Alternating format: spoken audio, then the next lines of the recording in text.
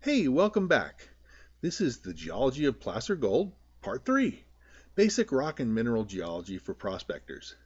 Now, learning a little bit about rocks and minerals is important for a prospector. Uh, you don't have to be the world's greatest living expert or anything, but uh, knowing some basics is important.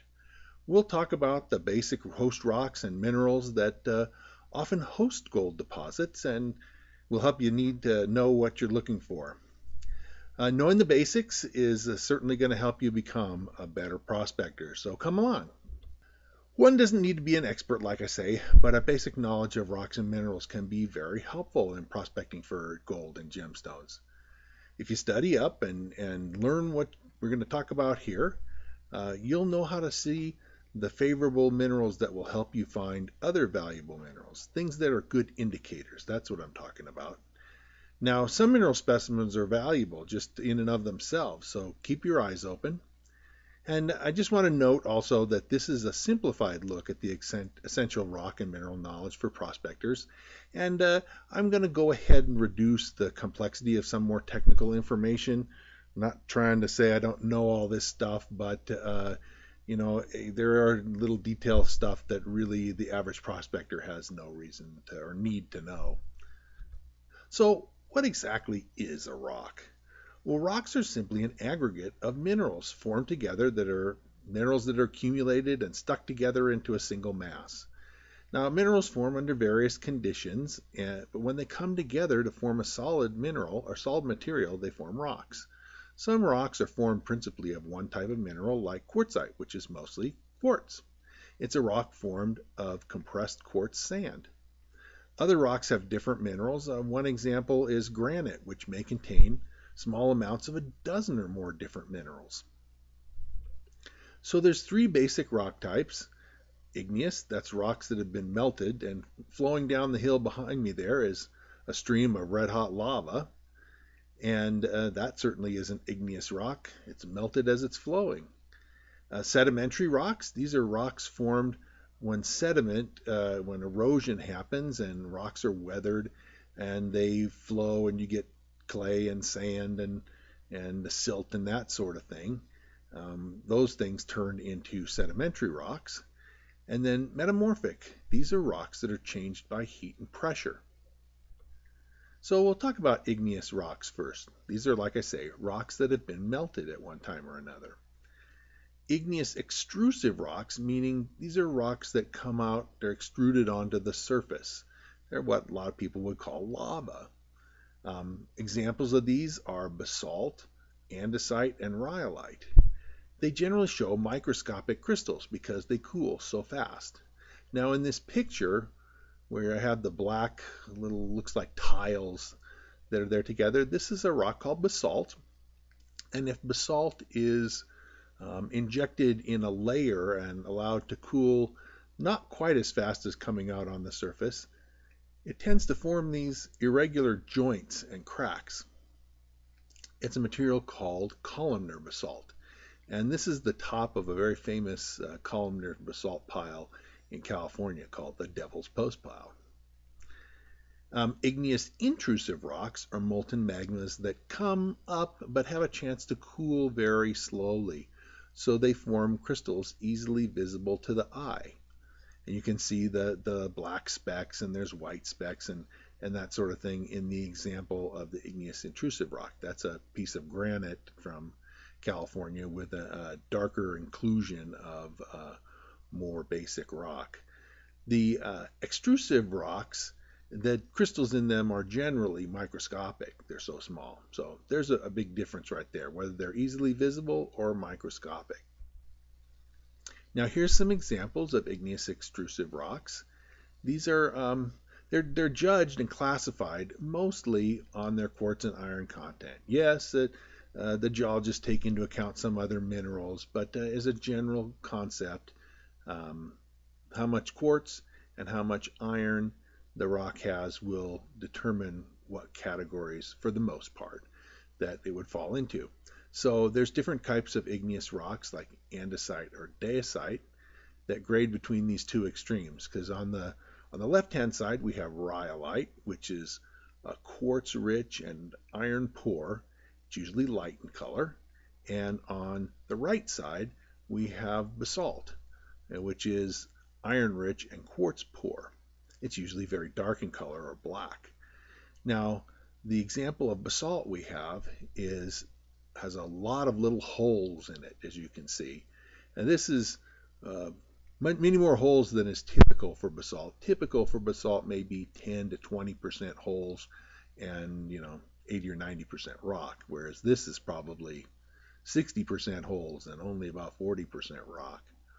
Um, the holes come from gases that are actually dissolved in the rock, and as the rock comes up to the surface and the pressure is released, the gases that were in the rock deep in the earth come out and form these little bubble holes, is basically what they are.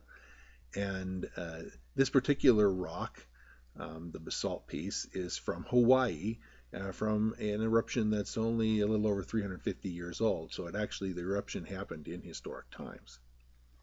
Now, on the left, we have a piece of rhyolite. And you can see if you look real close, there's kind of a series of lines across it. Um, there's kind of a flow line that flows from uh, right to left. And that is it's not an optical illusion. Those really are uh, lines, just kind of like a sedimentary rock, because a lot of times rhyolite is laid down in what they call an ash flow tuff. It basically is like the explosion that happened in Mount St. Helens. And when uh, all the dust and materials from the explosion uh, come down together, they do form little layers like a sedimentary rock. And then this material, um, it congeals into a solid rock, and then you have rhyolite. And if you look at this specimen of rhyolite, you may see a few little vesicle holes like in the basalt, only instead of being mostly holes, it has just a few. Um, a couple of them have a kind of a gray material in there, and that's quartz that was formed as the rock was solidifying from gases that were in the rock. And uh, some of the specimens of, of this material, because this is from a spot near Ely, some of these vesicles or holes in the rhyolite actually contain garnets. There's places where the holes contain topaz. It's kind of an interesting little thing. In fact, there's a couple of places where it contains a beryl, a form of beryl, and usually the beryl in these little vesicles is red, and it's an unusual thing to find a red beryl. Anyway, this is what you see with rhyolite. Now we're going to talk a little bit about phenocryst, and this is a chunk of basalt, and you see that it's got more of a purplish or lavender kind of color to it, and um, that's because this specimen of basalt has been near the surface and is many thousands of years old, and it's weathered. Originally, you know, right after it uh, had erupted, it would be black like the other specimen. But uh, you'll note that this has a clear chunk in it. And sometimes magma uh, that comes near the surface uh, and doesn't come quite right out on it uh, has a chance to cool slowly near the surface for on a while before it actually gets erupted to the surface. Sometimes when the conditions are right during that cooling, crystals will form, and these are capable of being gemstones. This is how peridot and sunstone gems are formed. This specimen is a bit of sunstone from the Plush Sunstone area in Oregon. Now, igneous intrusive rocks, these are rocks that have a chance to cool slowly, um, are also categorized into different ones based on their quartz and iron content. And uh, there's whole classes of rocks like uh, the granite, uh, but as well as diorite or monzonite, and there are grades between the two based on their iron and quartz content. So granite at one extreme is light with, you can see it's mostly light colored with just a few dark specks. And then the one on the right, the gabbro, is just the opposite. It's mostly dark colored minerals with very few, with a limited number of white specks. And the white specks are mostly feldspar, not quartz, whereas the uh, granite has significant free quartz in it. Now here's another example from our uh, an unusual case from the uh, igneous intrusive type category. It's called a pegmatite. These usually form as veins or dikes and they represent very slowly cooled rocks. They're basically the when uh, you have an igneous intrusive rock and it cools slowly. The very last of what uh, is is not solidified, the very last of the, the material that solidifies out of this, the body of igneous intrusive rock, has water and other things in it, and, and usually some unusual minerals, including beryllium and boron and, and uh, lithium and other things. And these form pegmatites. They have very coarse crystals. Instead of being little specks, um, they can easily be several inches to uh, many feet across. Uh, single crystals of 20 feet are not unknown in pegmatite rocks. This particular sample is from a famous uh, pegmatite vein in San Diego County in California called the Himalaya vein that has produced all kinds of gem tourmaline and a bunch of other beautiful minerals. The, uh, the specimen here has some kind of translucent quartz, some white opaque feldspar, and some kind of yellow golden kind of uh, books of muscovite mica, and then the black is black uh, schorl tourmaline. So on to metamorphic rocks. Metamorphic rocks, metamorphic means changed form.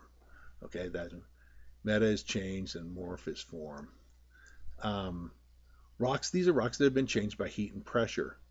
Uh, what will happen is that a mud or a siltstone will change to slate, and then with more heat and pressure to schist, and then finally to gneiss as the heat and pressure increase. And basically, once you get past that point with much more heat and pressure, there's a rock called migmatite, which is kind of partly melted, and um, then the rock is you get enough heat and pressure and it just melts and then you have a, a, an igneous rock. And now these metamorphic rocks are common hosts of gold and silver veins, and many are of a type which is called foliated, which means they naturally break into flat slabs. As the picture that I've shown here, you can see these are chunks that are flat and slabby. Um, this example is a schist, and it's a metasedimentary rock, meaning that it was a mudstone or siltstone, claystone, something like that, that uh, um, by heat and pressure was changed to schist. Now the silvery piece that's in the lower right hand side is actually how the rock looks unweathered. The piece that's on the middle left that has the kind of purplish color is a partly weathered piece of the same rock. I mean, there's no difference between, the only difference between these three specimens is the amount of weathering that has happened to the different rocks. So Silver unweathered, the lavender purpley piece is somewhat weathered, and then the piece on the upper right is fairly highly weathered. So it makes a lot of difference, different kinds of rocks, how they appear, depending on how much they've been weathered. Now here's a rock that is basically what's called a metavolcanic rock. This is a basalt, like the basalt that we saw at the beginning, the black material. This is a, a basalt that's been exposed to a lot of heat and pressure. It's called, as a general rule, um, greenstone. And the greenstone is found with uh, gold around the world. And in fact, the, the four stones that I have pictured here for you are from three different continents. The two on the right are from North America, the upper right is from California. The lower right is from a gold field in Arizona. Both these are, all four of these are from gold fields. Um, the pieces on the left, the upper piece on the left is from Africa, from West Africa, and the lower left is from Australia. All of them came from gold bearing areas. Again, it's, it's a metavolcanic rock, the equivalent of a basalt that's been changed. Now, one of the things I like to point out to new prospectors and to people that were just learning about rocks is not every green colored stone is this greenstone. A lot of prospectors have the the habit of doing that. They see a green colored rock, and there's lots of different rocks that can be colored green, and they call the green colored rock greenstone. Uh, that, in fact, that's why, in the for the most part, geologists have abandoned this term greenstone because it's just too generally used. I mean, is jade a greenstone? Yeah, well, jade is not greenstone. Jade is not uh, metabasalt. So anyway, this is an interesting rock and certainly one that's very common for hosting gold deposits. Now, sedimentary rocks, I mentioned, are rocks that are formed by the weathering of other rocks. Uh, normally, they show layers of, of uh, their deposition, and this is a, a, shot taken from the Grand Canyon in Arizona, and you can see the, the far wall. The upper part is light colored with bands of darker red, and then the uh, lower rock, the red, is um, has bands of lighter colored rock in it. The lighter colored rock is a limestone. The lower red colored rock is sandstone. So you have uh, limestone with beds of sandstone in it and sandstone with a few beds of limestone in it. Um, they're most commonly uh, uh, types of rock like this include sandstones, mudstones, limestones, shale, and these types of rocks are only very rarely gold bearing. It can happen, and in fact, the, the Carlin deposits of Nevada are largely sedimentary rocks. But for the most part, the, the, for the most uh, type of thing, these rocks are not great hosts for gold.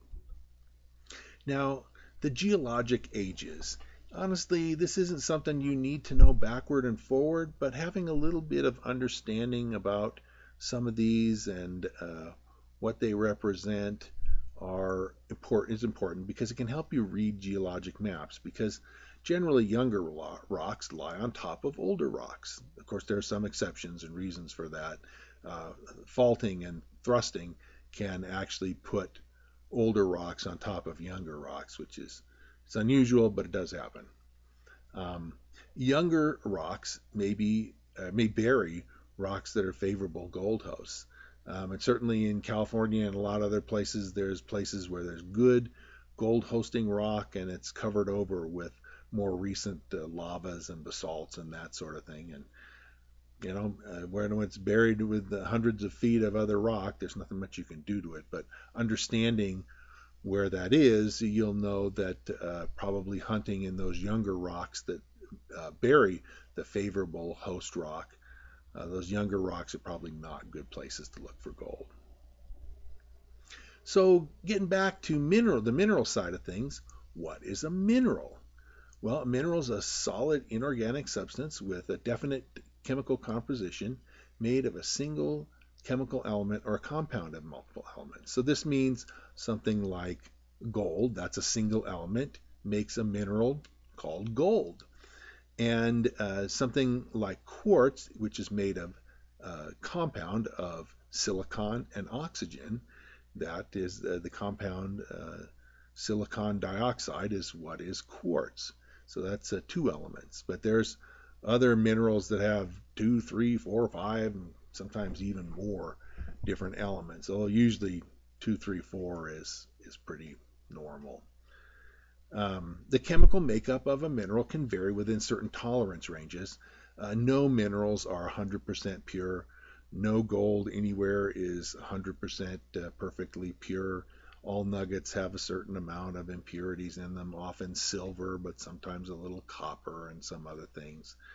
Uh, minerals formed by a natural, they're a naturally occurring substance formed by geologic processes. So something like a pearl or a shell from an animal that's not a naturally occurring substance formed by geological processes. It, those are substances formed by animals acting on different things. So um, things that are organic and, and or come from animals are not minerals. Um, minerals are always a substance with a crystal structure formed by an ordered internal arrangement of atoms. So something like opal which is a basically a silica gel, is not actually technically a mineral because it doesn't have an ordered internal arrangements. It's a gel. Okay, so identifying characteristics of minerals. Mineral color, that's the one that everybody focuses on, of course, because it's easy to see. You just look at the mineral and you can see it's blue, it's green, it's red, it's white. Um, the problem is that um, there are a lot of minerals that have overlapping colors. I've had people say, "Oh, I was up on so and so and I found a red mineral. What is it?" Well, who knows? There's probably 50 different red minerals it might be. So there's a lot of things that are red, a lot of things that are black, a lot of things that are blue. So anyway, mineral color is not a really great, uh, by itself anyway, it's not a great identifier. Now a streak test I mentioned here, some minerals that are really dark in color, super dark brown, dark near black, super dark blue, that kind of stuff. Um, it's hard to tell what color they are because they're so dark. And so what people actually do is they take a, a, piece of unglazed porcelain and run make a streak of the mineral on the porcelain. And then you get basically a powder of the mineral and usually you can see a lot better whether the mineral truly is black or brown or dark blue or dark green. Um, so sometimes a streak test is a, a, helpful thing. Mineral hardness. Minerals have hardness um, because their crystal arrangement. That's a useful thing that can be used to identify minerals. Part of the problem though with hardness is that when minerals weather, they lose some of their hardness. So that can be complex there. Crystal shape, um, that's one that's uh, often very helpful if you know a color and a crystal shape and you know cleavage, which is how um, minerals tend to break and fracture. Um, that's often sufficient to identify a mineral. Uh, luster is another thing. You know, there's um, different kinds of lusters, a metallic luster, you know, like pyrite has a metallic kind of luster, whereas quartz has a glassy kind of luster. Uh, that's another thing that you can see easily. Magnetism, you know, some minerals are magnetic, and then of course the the bottom line for everything is to chemically analyze the mineral to see what's in it, and then you know what the mineral makeup is. Now, field identification of minerals. Like I mentioned, weathering can make minerals hard to identify. Weathering can obscure luster, it can reduce hardness. Um, there's a lot of things weathering can do. So uh, highly weathered minerals are harder to identify. And minerals are often converted to clays. Um, they can also be converted to other minerals. There's examples of where one mineral replaces another. So uh, it's very common to have malachite, which is a green copper carbonate, replace azurite, which is a blue copper carbonate. And so you find uh, specimens of malachite, the green, with the crystal structure looking like they're the blue mineral azurite. And so, um, and there's even ones that are half converted I've seen. So the, when you have one mineral converted to another, that's called a pseudomorph. Another really common pseudomorph is a mineral called limonite, which is basically iron rust. I mean, it's natural rust. Um, formed after pyrite. Pyrite is an iron sulfide, and the natural process of weathering, the oxygen replaces the sulfur in the pyrite, and you end up with a cube that looks very much like a cube of pyrite, but it's no longer metallic gold in color. It's now rusty brown in color. So those are pseudomorphs. Limonite after pyrite, a very common one, a lot of times seen in uh, ores and out uh, when prospecting. Now I mentioned colors can vary quite a bit, and only rarely are colors characteristic. A lot of minerals can uh, be found in two, three, four, five different colors, and sometimes you know a mineral can be found in pretty much every color of the rainbow. Lumpy or broken pieces may not show crystal shape very well, um, and minerals from the same family can be tough to separate. Uh, you know, garnets, for instance, are belong to the same family, but there's several different minerals that are considered garnets, and uh, it can be tough to separate one garnet fam- one garnet member from the family unless you do a chemical analysis and know what's there. So field identification is possible in most cases, but it's not always super easy. So here we're taking a look at some of the different characteristics that we just mentioned each mineral has its own characteristic hardness.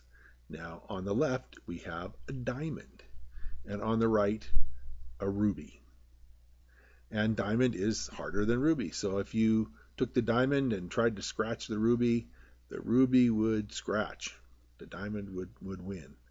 And so uh, they make little hardness test kits that you can actually buy, and they have different specimens of different minerals, and uh, you can try different minerals of different hardnesses to see the mineral you're trying to identify to see what its hardness is. Now, crystal shape, boy, when you can see it, uh, can be really helpful. These are all examples of quartz crystals, and look, look at how they look the same. In the upper left-hand one is a drawing but the other three are examples of real quartz crystals. And you can see that the drawing and all the real crystals have the same kind of shape. So prospectors learn really quick when they see this shape and this kind of arrangement um, that you know you're looking at a quartz crystal. Here's another crystal shape. This is a crystal shape for corundum, which is ruby and sapphires corundum and you'll note that it has a hexagonal or six-sided crystal structure and uh, the crystals all tend to look very similar, at least related. You can see that that structure is, is characteristic, just like with the quartz. So let's take a look at some uh, common minerals that we, we would you might well uh, uh, see out in the field.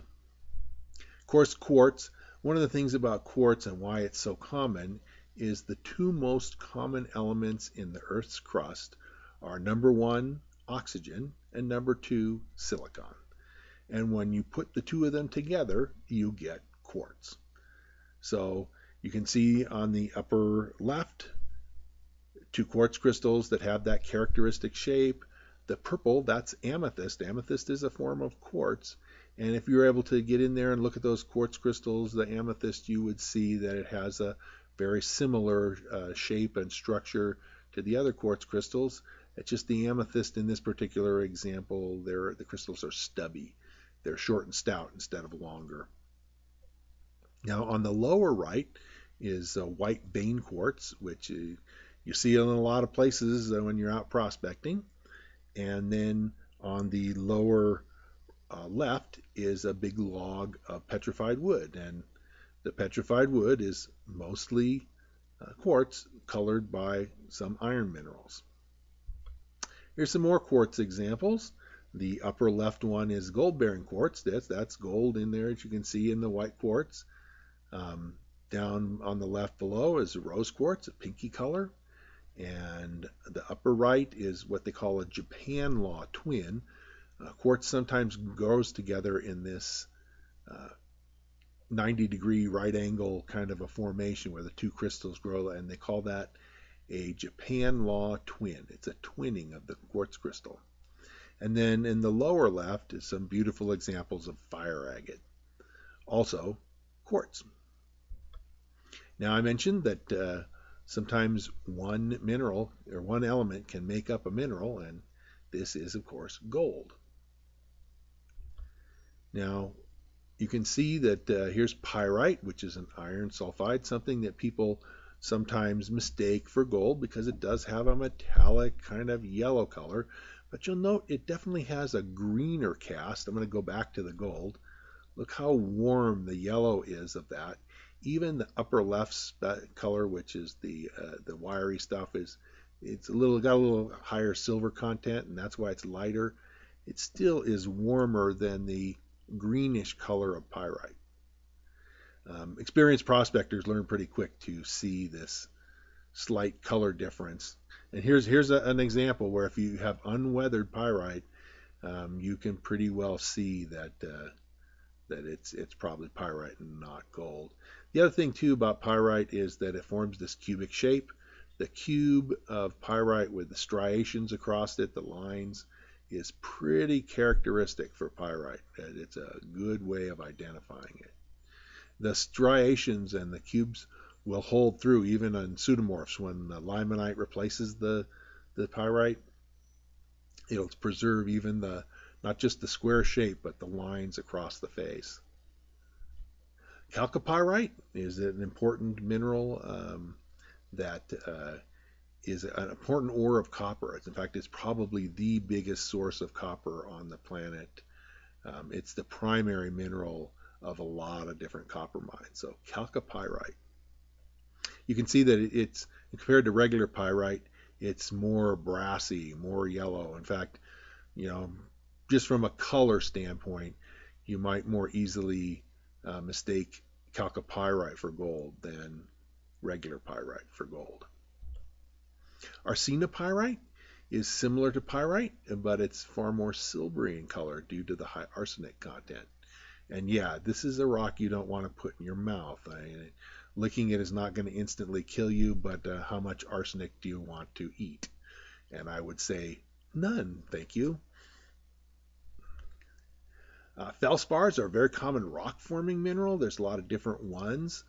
Um, micro, microcline with uh, or microcline with uh, quartz are two of the most common rock forming minerals, common in granites and, and that sort of thing. Labradorite is another uh, common feldspar. The blue green uh, sample is a material called amazonite, which is sometimes used as a gem or used for mineral specimens. It's because it's attractive in color. Micas are another common rock forming mineral. Uh, they tend to break into flat sheets, and, and, you can break these into thin sheets that are uh, literally so thin that they're transparent and, and, as thin as a piece of paper or thinner. The uh, two on the left are muscovite and are both from pegmatites, the big sheets there. And actually, they used to um, harvest those sheets to make uh, windows that they could put in high temperature places because uh, the mica will endure temperatures higher than what almost any glass can endure. On the right, the upper one, the black colored uh, mica is biotite, but both biotite and muscovite are common rock minerals. And then the lavender purple on the lower right, that is lepidolite which is a lithium mica and actually is an ore of the mineral lithium. Okay, the garnet family of minerals. Another family. Um, and again, hard to separate. There's a number of different types of, of garnet. Um, you'll note the orangey kind of garnet in the upper right and lower left.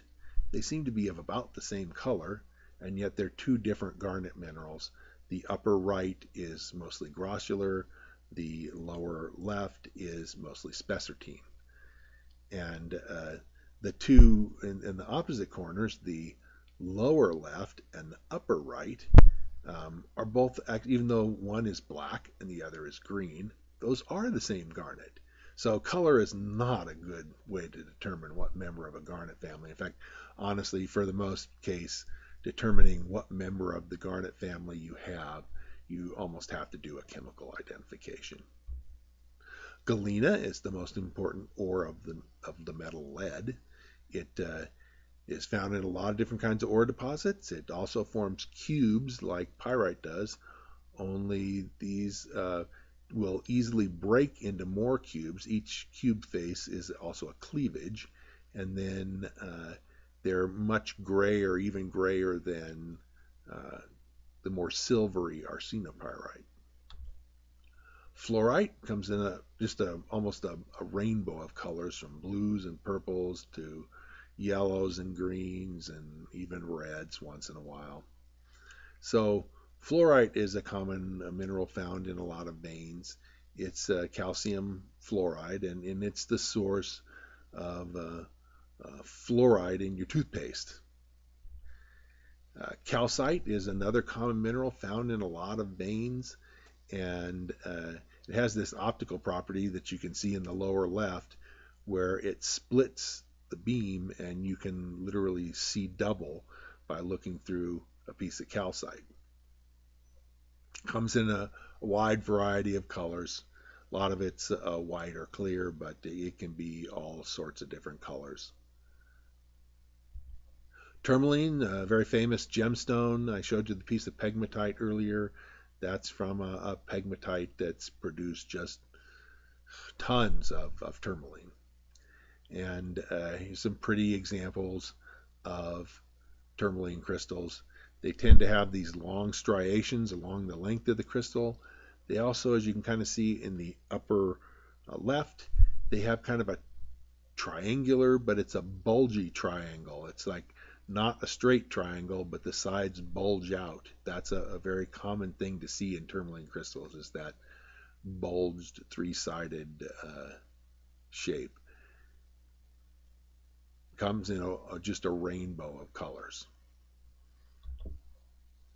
Turquoise, uh, a gemstone that I'm fond of, uh, comes in various shades of blues and greens and is found in arid areas, in, in desert type areas.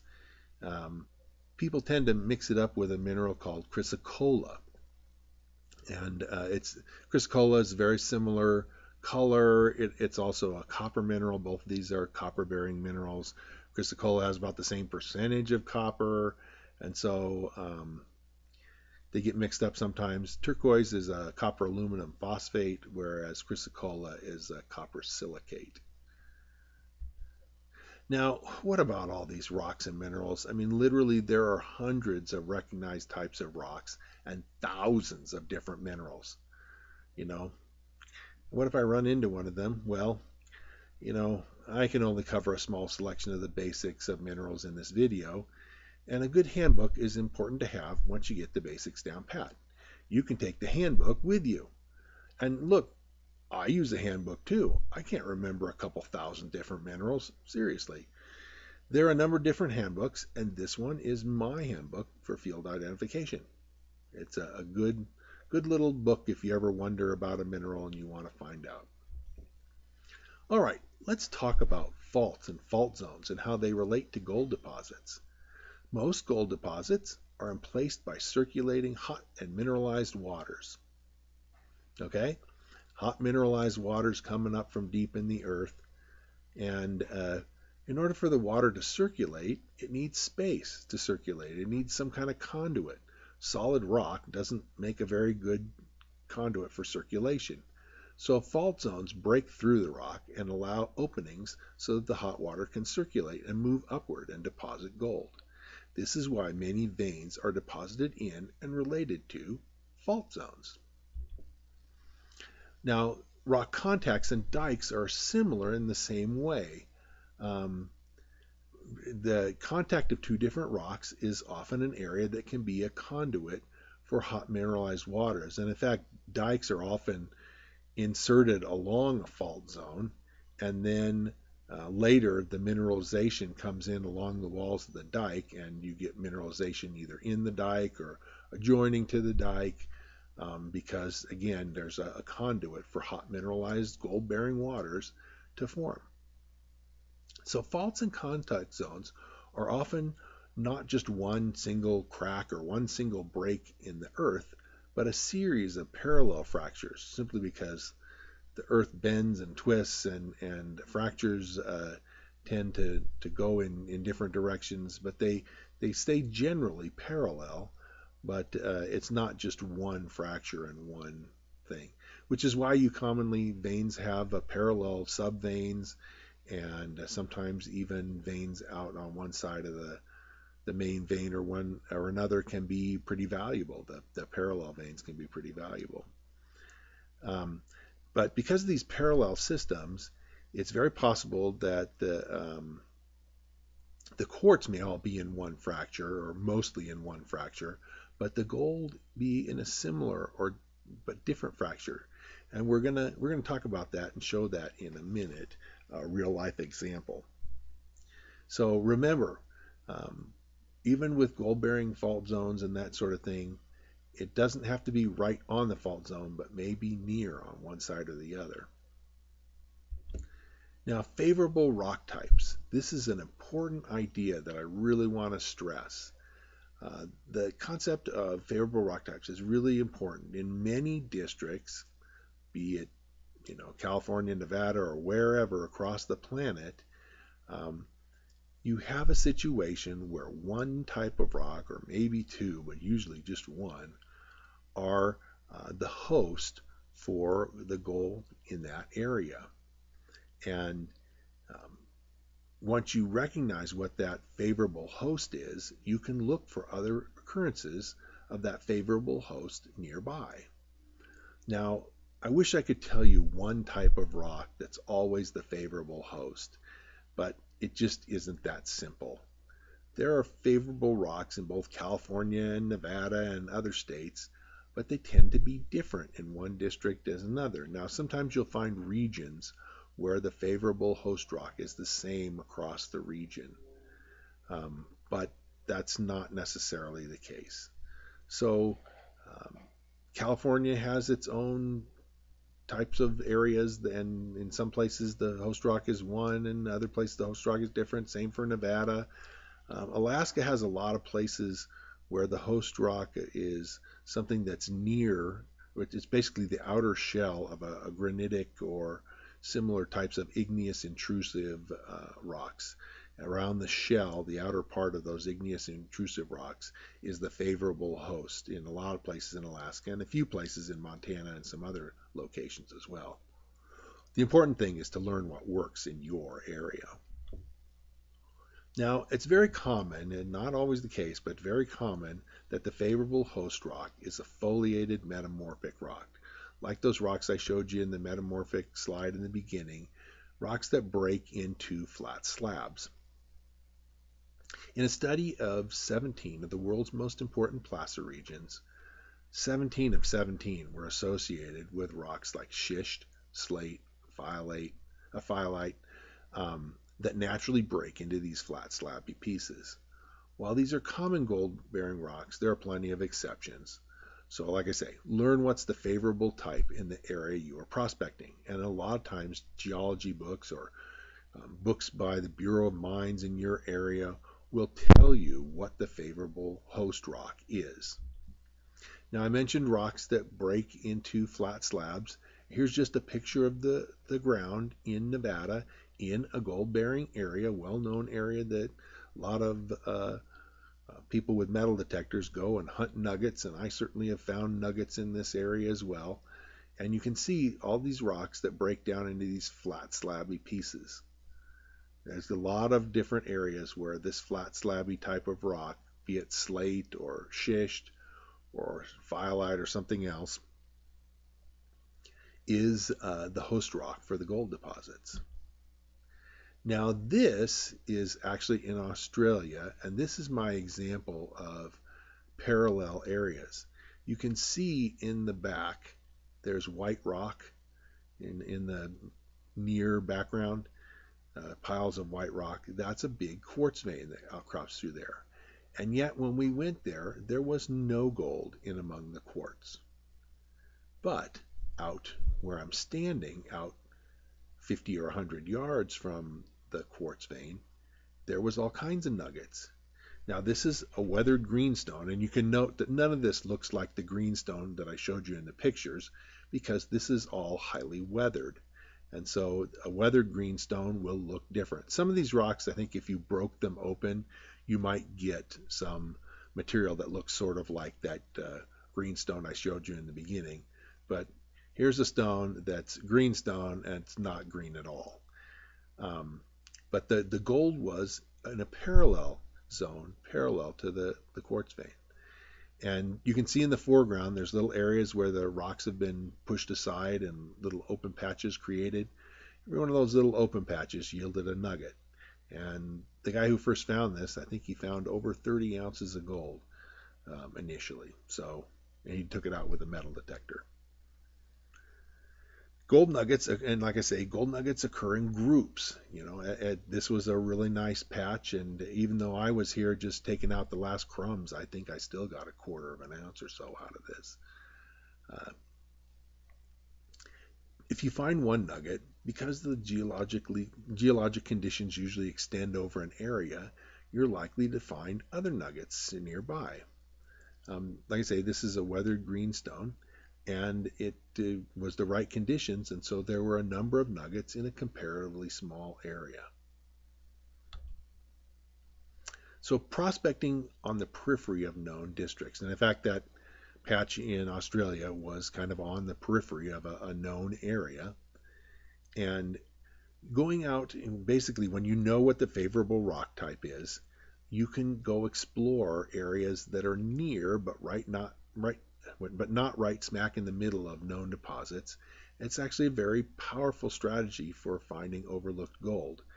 Um, people tend to look right in the heart of a district, but if uh, the favorable rock type is a schist, you can look nearby in nearby areas within half a mile or a mile or even two miles um, for similar types of deposits, similar types of schist, and the, that schist over there, a couple mile or two away, may well have good gold in it. So, um, prospecting the periphery of known districts when you know the favorable rock type or favorable fault zone or contact um, is a powerful strategy for finding overlooked gold.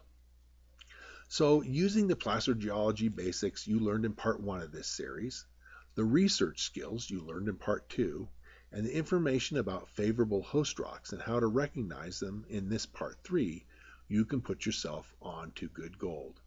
And even small areas that were found by the old timers but only lightly worked can be productive to modern day prospectors. So that's the end of this series. Um, I want to uh, also note that um, what you know makes a difference. So knowing and understanding how gold forms, uh, how to read geologic maps and read reports can be very useful. Don't be afraid to do the homework and put in the time to figure out new places to prospect. Use the knowledge you have and then get out there and explore. Um, I am going to come up with a new uh, series. We've got uh, Geology of Hard Rock Gold. That's going to be out in a week or so. We'll have some other stuff in between that.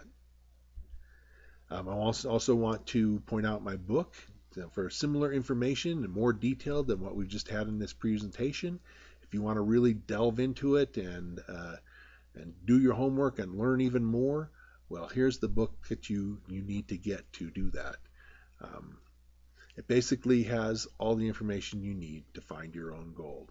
It's an encyclopedia of everything you need to know about prospecting, from panning and sluicing, metal detecting, dry wash, gold geology, how to read uh, geologic maps, the whole nine yards. It's all in this book. It's 350 plus pages long, so there's a lot of material here.